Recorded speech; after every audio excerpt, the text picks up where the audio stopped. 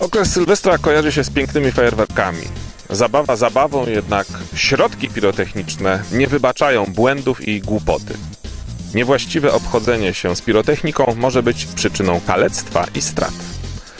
Przede wszystkim należy używać tylko środków pirotechnicznych z pewnego źródła, oznakowanych, właściwie przechowywanych, z polską instrukcją obsługi.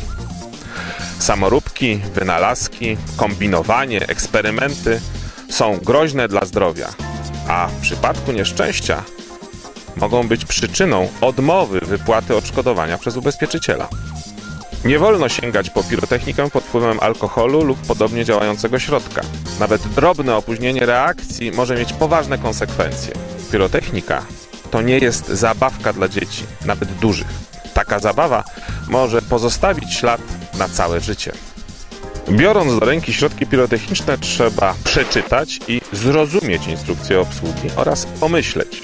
Przede wszystkim należy przestrzegać zasad bezpieczeństwa. Pirotechnikę wolno odpalać tylko na otwartym terenie, na czystym, niepalnym podłożu. Wszelkiego rodzaju wyrzutnie powinny być pewnie umocowane. Publiczność musi stać w bezpiecznej odległości. Nie wolno strzelać z ręki wśród ludzi. To zwykła głupota i może być przyczyną kalectwa.